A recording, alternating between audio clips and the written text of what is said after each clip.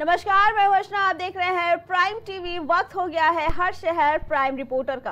प्रधानमंत्री नरेंद्र मोदी आज बुधवार को अपनी दो देशों की यात्रा के पहले चरण में पोलैंड पहुँचे। यहाँ भारतीय समुदाय ने उनका विशेष गर्मजोशी और उत्साह के साथ स्वागत किया।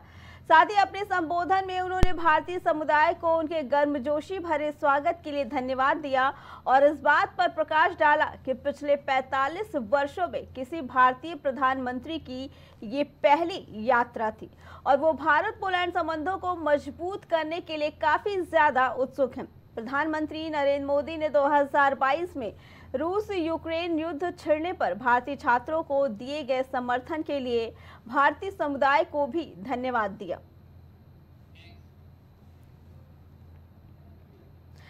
तो वही मुख्यमंत्री योगी आदित्यनाथ आज सहारनपुर, मुजफ्फरनगर और दिल्ली दौरे पर रहेंगे। मीरापुर उपचुनाव को देखते हुए सीएम का ये महत्वपूर्ण दौरा रहेगा। बता दें कि सहारनपुर में दोपहर बारह बजकर दस मिनट पर सीएम योगी आदित्यनाथ जन प्रतिनिधियों के साथ एक बैठक करेंगे और एक से दो बजे के बीच विकास कार्य और कानून व्यवस्था की समीक्षा भी करेंगे। वहीं तीन बजे मुजफ्फरनगर के बीआईटी मीरापुर में रोज़गार मेले में नियुक्ति पत्र, ऋण वितरण, टैबलेट और स्मार्टफ़ोन भी छात्रों में वितरण करेंगे। इसके बाद जनप्रतिनिधियों के साथ करीब आधा घंटे तक बैठक करेंगे। इस दौरान मीरापुर विधानसभा क्षेत्र की समस्याओं और मुद्दों पर मंथन किया जाएगा। वहीं आज बता दें कि शाम छह बजे मुख्यमंत्री योगी आदित्यनाथ दिल्ली के लिए भी रवाना होंगे। बता दें, सीएम योगी आदित्यनाथ का उपचुनाव को लेकर ये दौरा काफ़ी अहम माना जा रहा है, जिसमें आज शाम शाम को छह बजे सीएम योगी आदित्यनाथ आज दिल्ली के लिए भी रवाना होंगे। इससे पहले उपचुनाव से पहले वो पश्चिमी यूपी पे दौरे पे निकले हैं। ये दौरा काफ़ी अहम माना जा रहा है। आज रोज़गार मेले का आयोजन किया गया है। मुजफ्फरनगर में रोज़गार मेले का आयोजन किया गया है, जिसमें बता दें कि वो छात्रों को स्मार्टफ़ोन, मोबाइल, लैपटॉप वितरण करेंगे, इसके साथ ऋण वितरण करेंगे। साथ ही साथ छात्राओं का मनोबल भी बढ़ाएँगे। उपचुनाव को लेकर युवाओं को अपनी ओर ये सीधा साधने का एक तरीका है। सीएम योगी ने उपचुनाव को लेकर पूरी तरीके से तैयारियाँ कर ली है। भाजपा को सीएम योगी आदित्यनाथ से उपचुनाव को लेकर काफ़ी उम्मीदें जताई जा रही हैं। बताया जा रहा है कि उपचुनाव को लेकर पूरा दमखम सीएम योगी आदित्यनाथ के कंधों पर ही आ गया है। जिसमें सीधा सीधा युवाओं को साधने का कार्य किया जा रहा है, जिसमें शहर शहर रोज़गार मेले लगाए जा रहे हैं। बता दें कि आज मुजफ्फरनगर में भी रोज़गार मेला लगा है, जिसमें 50 निजी कंपनियाँ, बड़ी कंपनियाँ आएँगी और छात्राओं में रोज़गार सम्मिलित करेंगी। आपको बता दें कि छात्राओं को रोज़गार देने के लिए रोज़गार मेले का आयोजन किया जा रहा है इसमें सीएम योगी आदित्यनाथ शिरकत करेंगे। साथ ही कुछ छात्राओं को टैबलेट और स्मार्टफ़ोन भी बांटेंगे। इसके साथ रोज़गार का, रोज़गार भी इसमें कुछ छात्राओं को दिया जाएगा। बता दें कि इस रोज़गार मेले में 50 से ज़्यादा कंपनियाँ आएँगी जिसमें रोज़गार मेले दिए जाएँगे।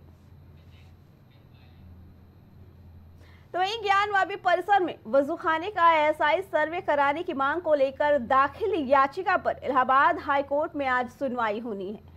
बता दें कि दोपहर दो, दो बजे जस्टिस रोहित रंजन की बेंच में ये सुनवाई की जाएगी। बता दें कि सर्वे की मांग की याचिका राकेश सिंह की ओर से हाई कोर्ट में दाखिल की गई है।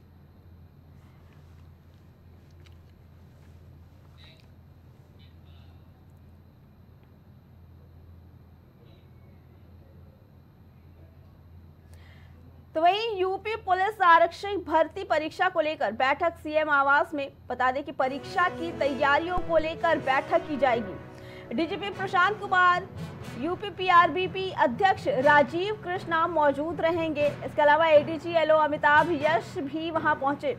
मुख्यमंत्री आवास अब तक की तैयारी के लिए सीएम को करा रहे अवगत। 23 अगस्त से होगी यूपी पुलिस आरक्षी भर्ती परीक्षा। जिसमें 23, 24, 25, 30 और 31 तारीख को ये परीक्षाएँ होनी है। ये बड़ी अपडेट आपको बता दें कि अब तक की तैयारी से सीएम योगी आदित्यनाथ को अवगत कराया जा रहा है। 23 अगस्त से यूपी पुलिस आरक्षी भर्ती की परीक्षा होनी है। ये तारीखें हैं तेईस चौबीस पच्चीस तीस और इकतीस तारीख रखी गई है जिसमें ये परीक्षा होनी है।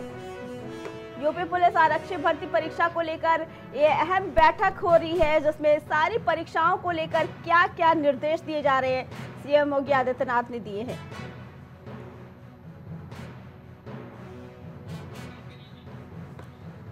इसमें डीजीपी प्रशांत कुमार, आरक्षी राजीव एडीजी एलो अमिताभ यश भी मुख्यमंत्री आवास पर इस बैठक में शामिल होने के लिए आप बैठ, पहुँचे हैं।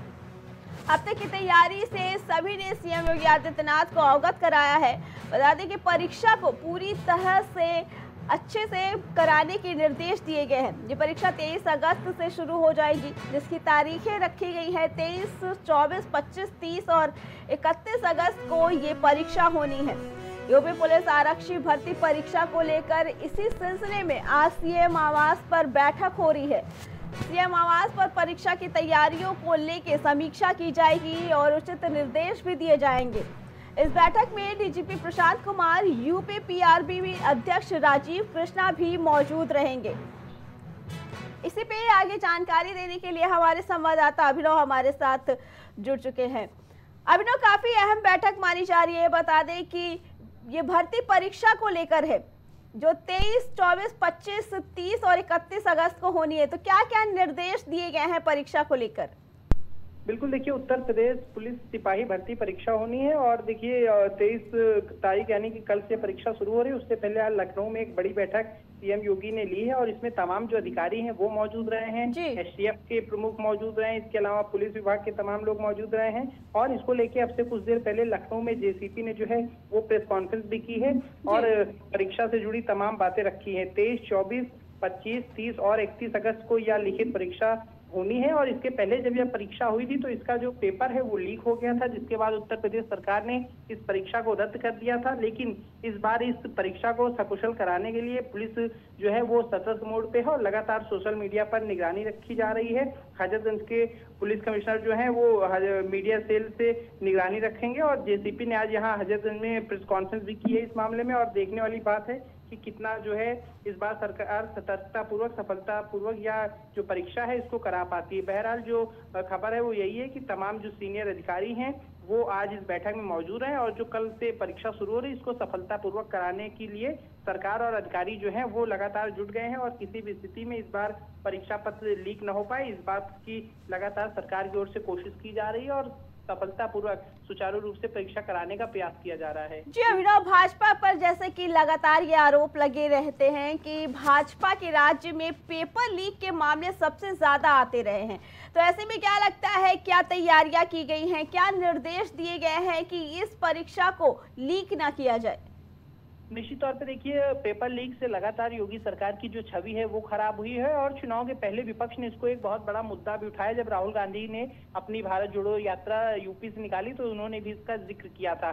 तो निश्चित निश्चित रूप से देखिए इस बार जो सरकार है वो पेपर लीक नहीं होने देना चाहती क्योंकि उसकी छवि खराब हो रही है। इसमें और अधिकारियों को भी निर्देश दिए गए हैं कि पेपर लीक ना हो किसी स्थिति में। इसको लेके पुलिस और एसटीएफ पूरी तरीके से अलर्ट है। सोशल मीडिया पे निगरानी रखी जा रही है। अभ्यर्थियों की भी चेकिंग की जा रही है क्या कोई फर्जी अभ्यर्थी जो है वो परीक्षा में ना बैठने पाए और एसटीएफ भी सतर्क मोड पे है इस मामले में।